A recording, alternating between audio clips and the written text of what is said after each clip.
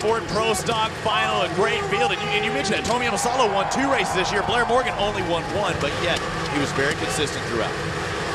Here's that lineup, and look at the climb up the hill, Robbie. It's unbelievable. 10 lap final, green flag, that means go, and look at the power. Unbelievable how steep that first turn is, and now making it down, everybody made it through this time.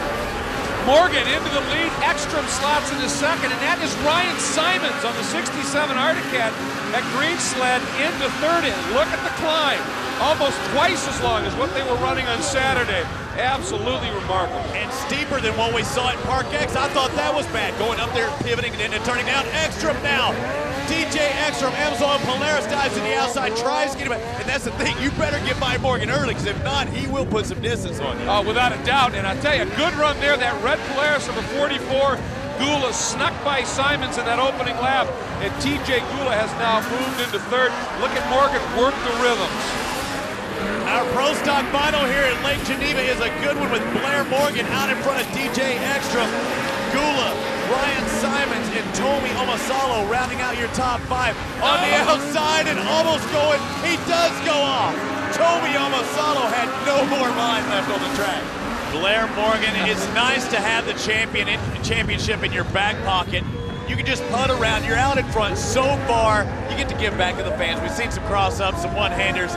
It's done. It's a done deal. The 2004 championship had already been decided, but Blair Morgan punctuates it here at Lake Geneva with another win. And who would have thought, considering the, the depth and the severity of the injuries that he had when the season started, that this guy would come through with the championship? There is no one more exciting to watch ride a snowmobile than Blair Morgan. The part that I liked is you hear the crowd. On the first lap, you huck the huge triple, the 100 footer. I mean, you whole shotted, top qualifier. Same old story. You just dominated and killed him again, didn't you? Yeah, I felt really good. Uh, you know, I didn't even nearly need to win to win a championship. Won it after the qualifiers, but I just wanted to. Every time I go out there, I just want to give it 100% and uh, just give the crowd a good show. And I'm just having fun out there. You know, if I ride slow, I'll probably crash. I just, just got to go out there and do it. Three points separating second, third, and fourth. Morgan has already clinched. It is time for our Bud Light Pro Open final at one of the prettiest venues you could ever imagine. I tell you, this is going to be awesome.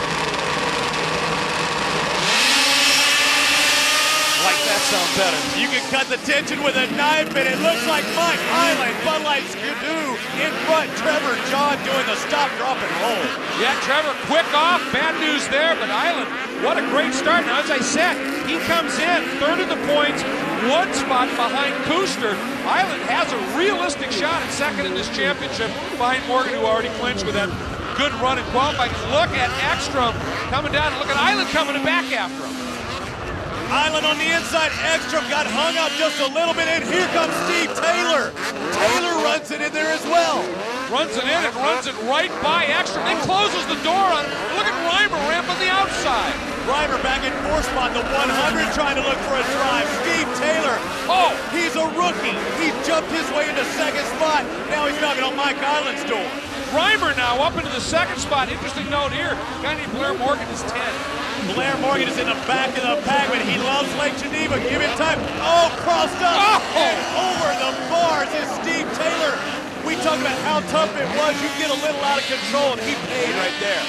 Well, the problem was he was trying to run with Earl Reimer, who's twice his size, awfully strong, and is willing to just muscle and hang on. I thought you were going to say. I thought you were going to say twice his age. Uh, oh no no. Island though now doesn't have anybody breathing down his uh, exhaust pipe. And look at the gap. When they leave the, the base of that uphill to where they land, that's a good 70 feet. Here's a look at Taylor. We're going to go back and take a look at the replay. Now watch this. Right here is Taylor. Now watch what happens. He's up in the air and he's trying to double down the hill. Lands at a little awkward angle. That's cupped out the back end of the sled. Yaws sideways, lands, and on a downhill slope, you're just you're dead meat at that point. Stop, drop, and roll right there. That's the fire drill, ladies and gentlemen, and none of these racers want to do it. Look at the amount, because of that one moment by Island, look how much he's closed up. And we know in this situation, Blair can be ruthless if he's close.